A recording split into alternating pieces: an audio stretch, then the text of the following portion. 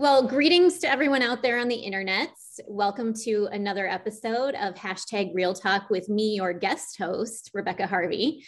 Today, instead of guiding you through the foggy world that is information security, I'd like to share, uh, shed, and spread some light and hopefully inspiration onto a program that is very near and dear to my heart the Women's Security Alliance, or WOMSA, as it is affectionately known. Before quickly uh, giving you an overview of what and who the Women's Security Alliance is.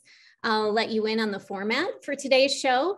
Uh, after providing some background on WOMSA, I'm going to turn the attention to two outstanding members of the WOMSA community, Aaron Bregg, the host you were expecting on this podcast, and Natasha Young.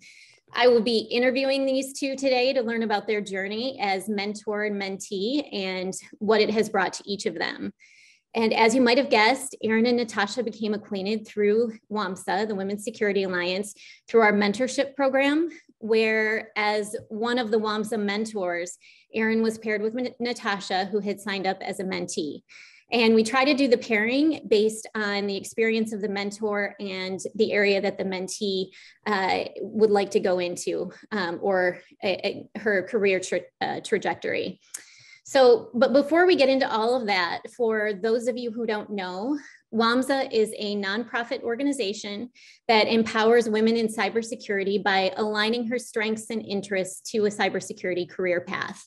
We do that by providing resources such as mentors that guide her through the cyber community, um, brokering connections to funding resources uh, to provide financial aid for training if needed, um, and developing networking opportunities to meet industry experts, recruiters, and corporate executives. WOMSA also has numerous alliance partners uh, and corporate sponsors that work with us toward our shared goals. And for more information on everything WOMSA, you can go to our website, www.womsa.org. And now for the fun part, the interview. So I'm going to start with Natasha. Um, Natasha, you have an interesting background. Uh, you graduated from the University of Michigan with honors in 2020 with a Bachelor of Science in Cybersecurity and Information Assurance, Digital Forensics. You also have a degree in applied science and certification in accounting. So I actually. I didn't know that. yeah, and it's fun because I, I feel like math and cyber go really well together. So mm-hmm. it's they fun do. to see that, that combination for sure. So, um, can you tell the viewers how you first became interested in cyber and talk a little bit about the roads that led you there? Absolutely. So I think it started out with, you know, kind of growing up and, um, you know, a little bit of a religious family. And through that, I did a lot of community activities. And, you know, um, it was kind of all about helping others and that was a big big focus for me it was a big deal and i really wanted to give give more um, and i started looking at other career paths and um, I kind of wanted to take initially the route of, of justice, bringing justice to those who can't protect themselves and um, those who are vulnerable. And um, protection was like, a, it became a big, big thing for me. Um, and so as I started exploring that career path, you know, it started out looking at criminal justice. And I was like, well, you know, what's, you know, investigating is something I, I, I really like. You know, putting the pieces of the puzzle together, which anybody in cybersecurity, it's it's all about putting together the puzzle. Um, and and I knew I was a very curious person. Technology always interests me, but I didn't have a lot of exposure to, te- to technology. And um, through talking to like different recruiters and different law enforcement agencies, especially with the federal government, um, they had talked about the war on cyber being something to um, that, that that was going to be the future. And so I started looking into more computer science and computer engineering, and I had started down that path. And then all of a sudden, a cybersecurity degree evolved in digital forensics. And so I took that path. And how the accounting kind of comes in is, you know, when when it comes to following the bad guys, follow the money is kind of, you know, the thing that has come about from from that. And so that's where the accounting came in. And it always, you know, it was it kind of started out as investigating a crime and from there, it actually even developed into more of my curiosity for technology and and just putting those pieces together in general. Not not always for a uh, law enforcement case, but also for just being creative and building new things. And so, just engineering and software engineering in general became something that um, I really liked. And so that's kind of how it started, where it evolved from. Um, and I, I absolutely love it. It just comes down to really being curious and and wanting to protect others, and that's like my my core motivation. Um, so yeah, that's amazing. I, I really like that. And that's, eh, can't think of a better motivation. um, now, Aaron, I'm going to ask you a similar question, but instead of how did you first become interested in cyber and which storied roads uh, led you down that path, I'd like to know your why. The, the data shows that people who are impassioned by and good at their jobs, such as yourself, always have a strong why that drives them to do what they do. So, you know, maybe it's to make the world safer, better place for their children. Maybe it's the drive for justice, as Natasha mentioned, or maybe it's something totally different. So, would love to hear your why, Aaron. Well, thank you, Rebecca. I appreciate it. First of all, great, great job on the intro. You kind of you knocked it out of the park. So I just want to say thank you for that. Um, and some of the listeners that probably don't click from you know like linkedin and other areas are like just going to do a download and they're going to be like hmm what is this? This is interesting. So great job. Uh my why. So that is a great question and i do hopefully have a pretty decent answer. So i've worked for um healthcare system major healthcare system in west michigan. I'm coming up soon on my 10 year mark and one of the things that I've learned over all these years is the knack of being as a former um, former director I used to work with. She said that you're you're business bilingual. You like you just you just understand it. You have the ability to understand and listen to the business and then, then translate them into you know to technical things that need to be done and then that always stuck with me right and then fast forward a couple years after that with the opportunity to join cybersecurity it really started to shine so i do have to give um, a lot of credit to to abe jones which rebecca i think you know abe right? Yes i do. Yep. Um, for first him and chris payne a long time ago really had like the idea and concept of you know bringing not traditional folks into cybersecurity. So this goes back to where I think Chris is like the C the CISO of Zillow now, but at one time he was just a lowly security manager at Priority Health back in the day when I met him. But they talked about the need, and they even saw back then that need to have that biz by business bilingual or that you know people to to translate the security speak. So that always intrigued me. And then um, my wife is a, a epic research analyst at the healthcare system and seeing some of the struggles that they have when it comes to their relationship with um, with doctors with um, you know with companies that you know drug companies and other companies that want to do research studies it really really started to hit home some of the struggles that area has right? Because research is usually wow wow west you know let's let's mm-hmm. do this and let's do that. And once the doctor's got something in their head you like they try and take it right to the end and obviously for good reasons. But that made that connect a purpose for me even stronger is understanding that there's just a there's just a huge um, you know language gap between the business and security. So that's what got me into it. What keeps me going right now is it's the small things, right? Like when we do stuff for the children's hospital, right? So in the 10 years that I've worked for the Spectrum Health corporate, having a vast network, I get lots of, you know, onesie, twosie questions. And sometimes they'll come with doozies like, hey, you know, we're, you know, we're gonna, we're gonna try and get cameras into the NICU you know this is during covid times so that parents you know can can see their kids or grandparents can see their kids.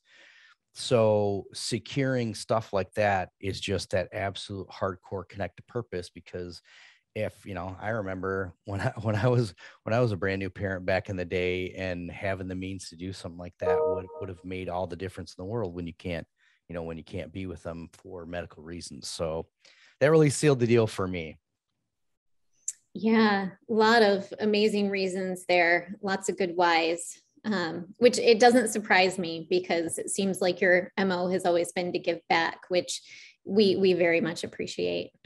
Um, so I'm wondering, Natasha, um, you know, I, I, can't remember exactly when uh, you joined WOMSA. If you could tell us a little bit about that and uh, what attracted you to the organization.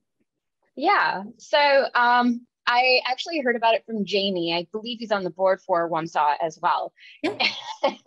um, Jamie was so kind, and I, I, had. It was around the time that I graduated, and he just commented on my LinkedIn post. Somehow we had a lot of mutual connections through University of Michigan Dearborn, and he had just commented, and and I saw his background. I was like, oh wow, his background. I I really like that, and I just reached out to him. Literally, that's where it all started, just from LinkedIn, you know. and and so I, you know, um, you know, I I had talked with him, and then a couple months later, you know, we uh, we were we were chatting, and you know, asked him, you know, I'm looking for ways to get involved, um, you know, now that I've graduated, because, you know, when I was at, you know, University of Michigan Dearborn, I had gotten super involved. I, I was so busy. I can't even tell you, I definitely had burnt out by the time I was done, but I was, I was so involved and I knew everything that was going on. And then, and then I was a COVID graduate. So everything just kind of stopped. All my social connections were done, you know, I graduated and then it was like I joined this new job and you're you're not interacting with people as much. Uh, everything's kind of online and it, it just it just wasn't the same. And I felt like I needed, you know, I felt like I was starting from the bottom again. And it's like, all right, I'm starting from the bottom again. Uh, so what do I do to get involved? And and that's when I had reached out to him and asked him what his thoughts were. And he had um he had given me some ideas on some um, local organizations, and WOMSA was one of them. And so I checked out their website, and it, it was about the time where I felt like I I definitely need a mentor. You know, I I feel like I'm starting out from the bottom, and now I have all these new adult stresses. Like when you're you're in college, like you're just worried about graduating and getting that first job, and it's like now it's all here and it's you're starting from the bottom again um, you know what's what's next? And going through that process I, I, I realized i was stressing out about a lot of different things including um, you know um, the the time limit that women have feeling the imposter syndrome like i don't know enough. And you know and th- this is something where i need some professional development. And and that's when i had signed up for WOMSA um, and i felt like a lot of a lot of my stresses and worries were related to me being a female, you know, the, the, time limit we have, the clock we have, and that imposter syndrome of feeling like you're the only female in the organization. And, you know, uh, and, and that's, that's why I had signed up. And that's, you know, that the idea of it being a support place for women um, and it being cybersecurity, because the unique thing about cybersecurity is it's kind of like this mixture of of, uh, of justice and protection. It's a very specific field. Um, there's a lot of tech organizations out there and they're very broad, but there's just something about cybersecurity. It's a smaller community um, and there's only, you know, that that's the best place I could, I knew I could make some networking connections. And that's also additionally what I needed. So that's what attracted me to WOMSA and that's how I got connected. That's great. Well, I'll have to uh, mention something to Jamie. That's that's awesome that the two of you connected. Um, Aaron, what, um, how did you hear about WOMSA and what made you uh, kind of take that leap to become a mentor?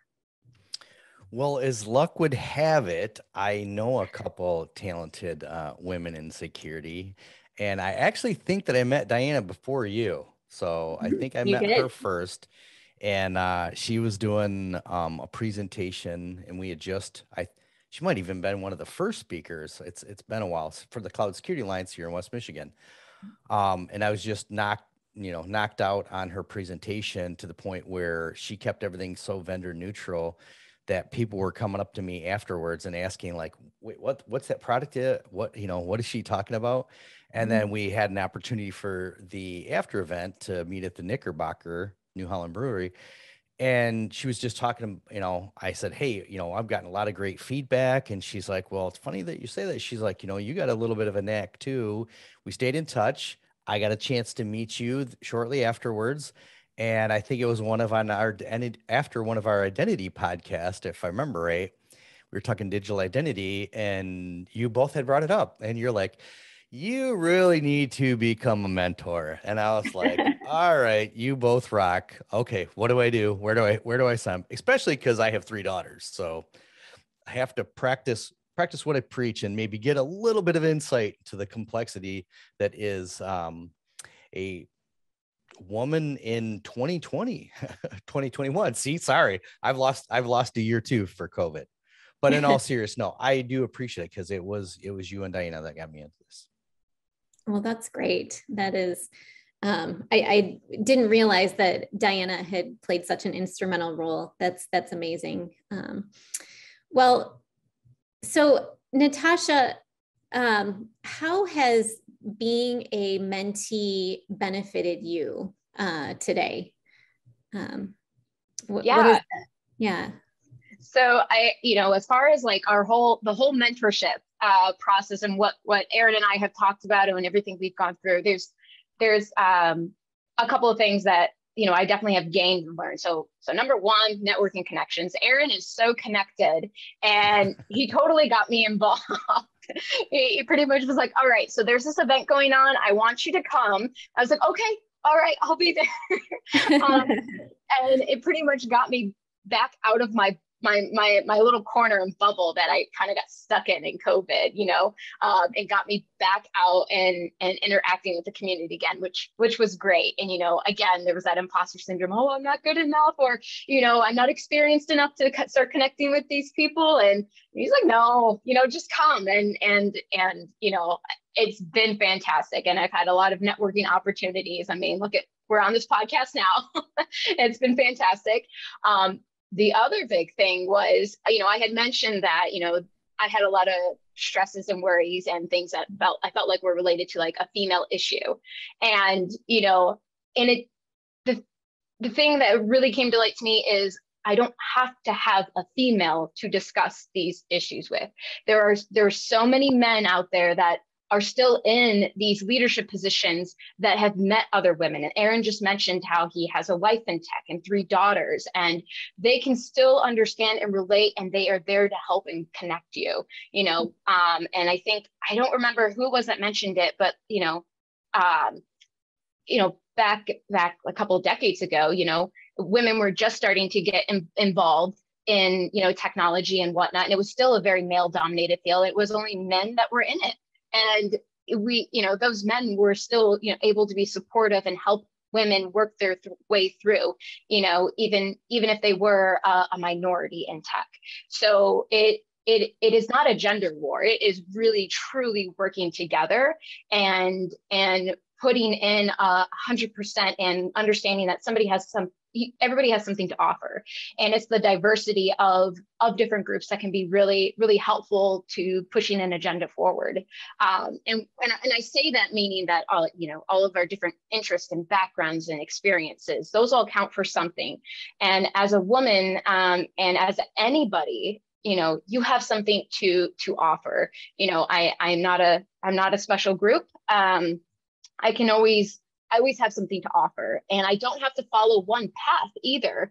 Um, I think that's something else, you know, um, Aaron brought to like for me too, because um, we we feel like there's this one path. Okay, get your degree, hurry up, get married, have kids, move up in in in the workforce. You know, there's this specific timeline you feel like you have to follow, and you're in charge of your own project triangle. You know, you're the ones who set the requirements. Um, you don't have to go to somebody else to get those requirements approved. You you can take a little bit of charge of of, of your own destiny and um and and and adjust it as needed. Adapt and overcome. Every we all have we all have problems. We all have different issues. We all have things that are unexpected that come up. Um, and adapting and working through those is is really important. And so um, and i think that can happen a lot in you know uh, with with I guess just with women working these days in general, you know, um, everything from from childcare and this, I, I don't have children yet, so I haven't even faced a lot of the issues that a lot of women have to the, these days. But it's really working together, and um, men are there to help you too. It is it is not a gender war. Um, so I, I, think those are those are two two major things that have have come to light. And I I can't I can't thank you enough, Aaron, for for being my mentor because um, you were very helpful. Thank you. well, I I appreciate the I appreciate the compliments. I think yeah. it was a lot of that though. I think, and maybe it's because I'm a little bit different because I have, you know, I have daughters and I have a wife in technology. But I think one of the first things that we talked about is when she, you know, she talked about, well, I have this goal and I have this goal and I have this goal. You know, one of them's with, with the FBI and one of them's getting married and have kids and one of them's like further my engineer. And it's, you know, she tried to pro was trying to process them all at once. And, and I, and I think that's, you know, that's, that's, that's why I've talked many, many times. I mean, I'm joking, but I'm also serious that like women are smarter than men because you guys lick. It's almost like the Doctor Strange moment for the people that have seen the Avengers movie, and he like his head twists around and he's like observing like a million different um, you know scenarios. The first thing I did was just say, "Hey, it's okay. You're not, you haven't even hit 30 yet. Like you've already you're already trying to plan this one, this one, and this one." And life sometimes is going to happen to help you make decisions on that path. So i'm like take a breath reset and let's just make some mini priorities right? Let's like stop thinking about where you want to be in five years right? Let's get let's not even think about where you want to be in three years. I'm like we're gonna we're gonna break this down in chunks. We're gonna talk about where do you want to be in one month where do you want to be in three months where do you want to be in six months and where do you want to be in the year and I guarantee you, and I, I told her this, I'll guarantee her that at the one year point, it will help make year three and five clear with the decisions that she's made now. So, and some of the stuff that's went in parallel because she, I kept thinking that she's thinking like, well, if I take this path, I'm going to miss out on the connected purpose in this. And I'm like, well, there's different types of connected purpose, and you can still stay in contact with like, she wants to be an FBI agent. You can still keep in contact with FBI folks while you're getting more education with while you're working for Ford and planning out, you know, what you want to do in your personal life. So I think that was the aha moment in her because it really she she went from you know those the first couple meetings to being a deer in the headlights to like okay i'm picking up what you're putting down yeah. focusing on one thing at a time for sure and making the most of the time you have currently. You know it's not always going to be 10 years out where you have to accomplish the end of the project one step at a time. Do it the software engineering process. It's an iterations one story at a time Yeah, and I think that, that, one of the reasons that might come, you know, more naturally to men is that culturally, you know, women have been conditioned um, to eh, be more focused on uh, other things, and you're probably mm-hmm. um, getting a lot of messaging from your predecessors who are women. Um, you know, what about this? What about the family? The clock is ticking, and and things like that. Oh and, yeah and eh, that sort of um, you know th- that adds confusion i think sometimes when your goals don't align to uh, what their goals and maybe what opportunities they had um, but I look back and it, it, you know, technology is not new to women. If you watch the Hidden Figures movie, and if you, you know, look back to the world, you know, oh, yeah. during yeah. war times, I mean, women were running everything Com- and computer and, programming, you know, the, the matrix and, of computer programming and matrix of the space program they just yeah. in the background. They've always they've always had they, they didn't get all the you know the, the press coverage but um but yeah it's we've been there and definitely have had interest and capabilities around that just not always the same opportunities but I, fortunately you know we're, we're moving in the right direction as far as that goes. Um so Aaron, I, am curious to know, um, and thank you, Natasha, for that. Um, it, it's good to know how you know how how the mentorship program has benefited you, and um, just some realizations that it's helped uh, helped you come to. Um, Aaron, I know as a mentor, it's it's a two way street. So I'd like to understand how you know how it's benefited you, um, you know, in in your life. Probably the biggest way it's forced me to to rethink um how to engage you know th- this younger generation when it comes to technology because a lot of times you know you you talk about you know press and stuff like that and the millennials you know this and they're lazy and everything else. And I kind of, you know, wanted to refocus and all the people that I've met through the security program at Spectrum, I wasn't getting that vibe. So I was looking forward to seeing, okay, you know what, this will be my first interaction um, with a, a young woman in technology that I don't have a connection through the healthcare system, right? So I really came onto it with open eyes and it really kind of hammered home the fact that you know, this generation isn't lazy. I think a lot of older, you know, older experienced posts in cybersecurity and other areas are misunderstanding or misreading their intentions and stuff. Mm-hmm. And I think it's it's the biggest thing that I've learned is to start looking at things differently, right? Like I've always tried to look at things differently, but it was still, you know, very very Gen X, you know, my, myopic you know, point of view where, you know, if I want to practice what I preach, you know, regular followers know I'm independent. They know I'm I'm not super progressive and I'm not super conservative. I try and I want to give everybody a chance, right? So hearing her struggles kind of programmed me to think a little bit differently and, you know, even when I'm, you know, dealing with, you know, work issues. So it was it was a good challenge. I mean, I think if you go into a mentorship thinking that I'm just gonna, you know, I'm gonna, I'm gonna bark orders, and she's gonna learn so much from me because, you know, I'm a, I'm a CISO, right? I've made it here to this. Well, your path is different, your journey's different, and times are a changing whether you like it or not. So better to, I think Natasha said, like, and you know, adapt, right? Darwin, everybody thinks that Darwin is the survival of the fittest it's not. That's not what Darwin said. Darwin talks about the species that adapt survive. So it was a challenge, and I and I loved it.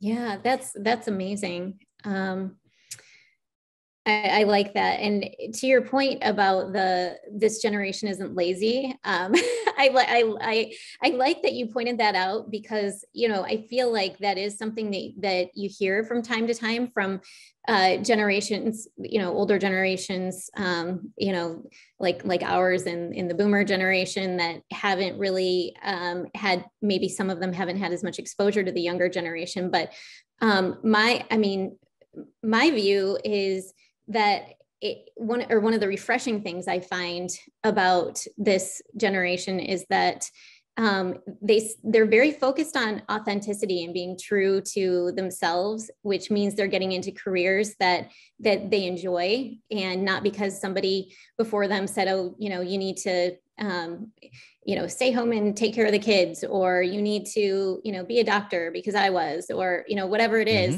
Mm-hmm. Mm-hmm. Um, they're like, no, this is what my heart is telling me. This is what um, I am drawn to and attracted to. And um, I'm going to be true to myself. And I, I, think we could all, you know, learn. We could learn all from- learn something from that. Yes. Especially absolutely. us middle aged white guys. well, I think everybody, you know, it, it's always a struggle to be authentic in a world that's trying to put you in a box. So it's, mm-hmm. yeah. Um, so I guess um, Natasha, on uh, the note of your generation teaching our generation, which is very important, what piece of advice do you have uh, for women or anyone for that matter who wants to get into the cyber field? Um, they're not in it yet, or they're just getting dipping their toe in the water, maybe just coming out of school. Um, what what advice would you give them? Um, don't be scared of technology. It it seems hard, it seems challenging sometimes, but it's you everybody always has something to offer. And you may not be like the best coder. That there's so many people in security that don't necessarily code. Um, you may only be a good coder and and really may you know maybe you don't have that bilingual skill that you know uh, aaron was discussing. And that's okay. We still need people that that can really dig deep. Um, you can be um, on the Intel side, you can be on the embedded system side. There is so much to offer. Um, you know, I'm, I'm in a special rotational program right now, and I'm trying to get a exposure to as many different cybersecurity positions as possible. You know, whether it's something, uh, you know, on the engineering side, in the defense center, on the Intel side, on the embedded side, there there is so much out there and there there is no you know sometimes we put the stereotype on technology and that you have to be really really nerdy and techy and we still need diversity of thought in cybersecurity. And you have something to offer. If you are passionate and if you are hardworking and you you have something to offer go for it. Because we we need as many people out there as possible that are willing to to protect. We need the we need really we need good actors um, and and that diversity of thought. So you know for for women that you know think that they're not techie or geeky enough or you know they don't fit the stereotype there there is no stereotype there's not supposed to be there are so many so many fantastic uh, um, men and women that I, i've met in cybersecurity that are very different. Um, and and you can bring something to the table. So um, I think I think that's the main thing. Sometimes you feel like you have to fit into a box to actually go into cybersecurity, and and you don't. You you have something to offer. If you're passionate about it, go for it. Um, I guess the other thing I I would say for for women that are interested in in cybersecurity. Um, Con- continue, I guess, just to foster that passion and stay stay involved, stay connected. Um, that I, I found that to be, be, be very beneficial to to me and my professional development. It helps me. It helps kind of get me out of my box, and it kind of it mitigates that imposter syndrome. Um, you know, I I think the um, GrrCon was something that Aaron had me attend, and you know, again, it was like I didn't think I was I was good enough. And Which is I a just went. great hacker conference here in West Michigan. It is. A Yeah. little bit of plug. We talked about CloudCon, GrrCon.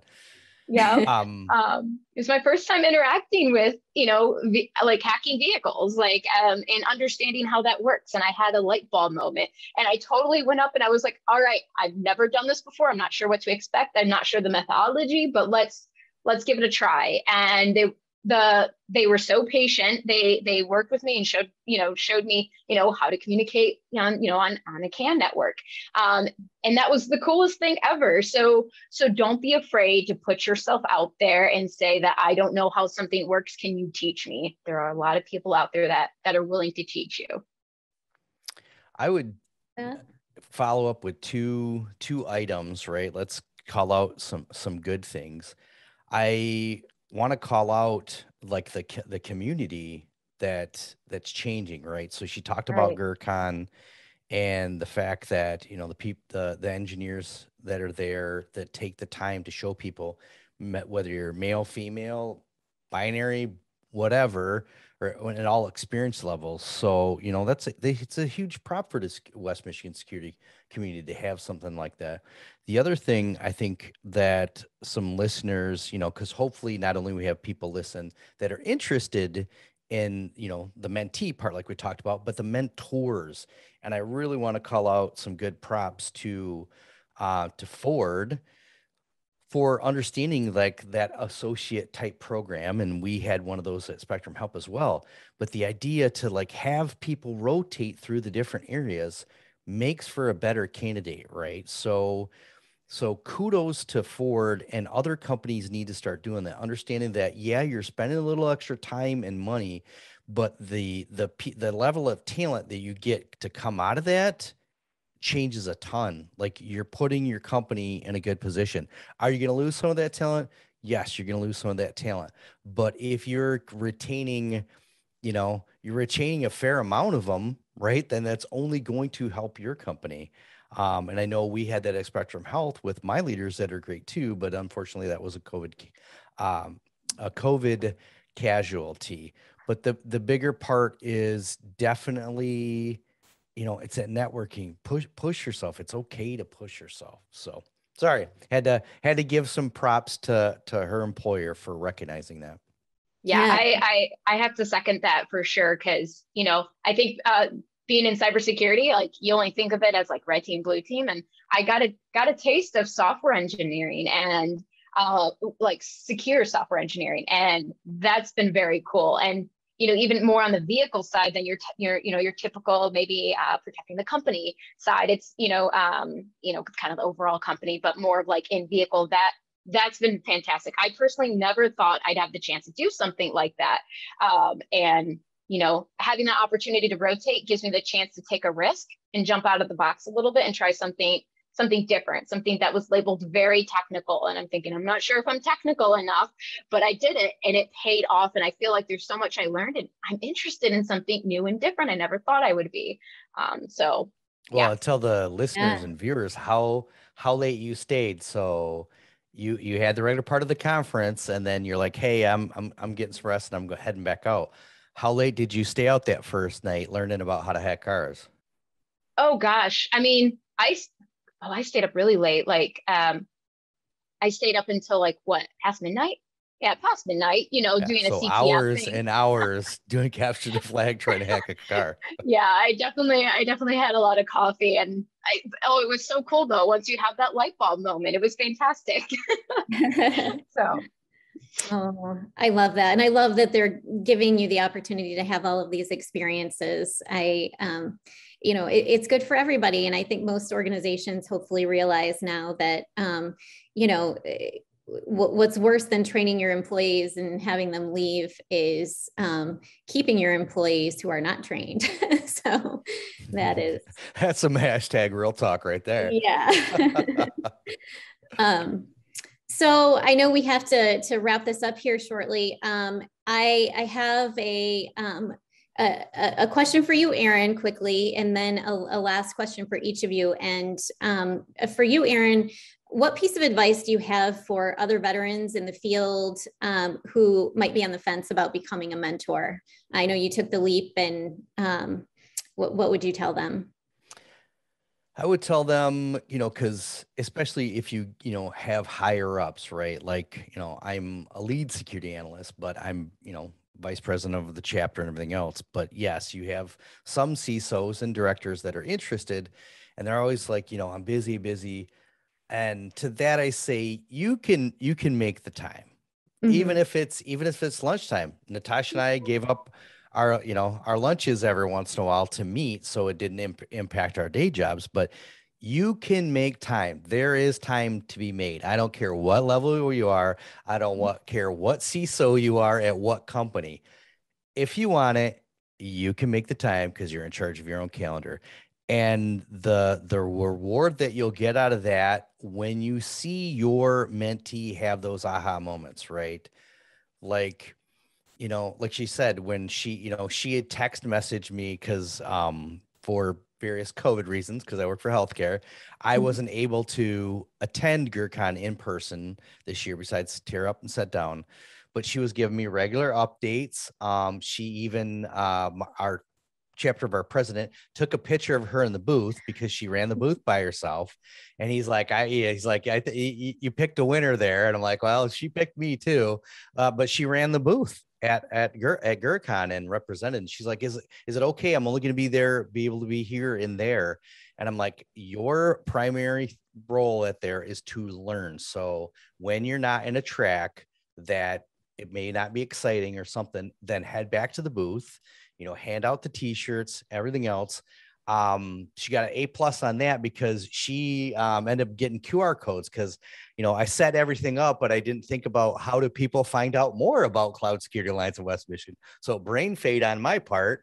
Lo and behold, the mentee saves the day. She's like, "Well, we could do this QR code stuff, and people will just you know come up with their phones." And mm-hmm. she literally saved the day with that. And I still have that photo and from Matt, and that's one of my great mentors. Is like you get into it what you put out and if you take a chance and and and just just take six months. I mean you can even do it to where you're meeting just once a month for six months.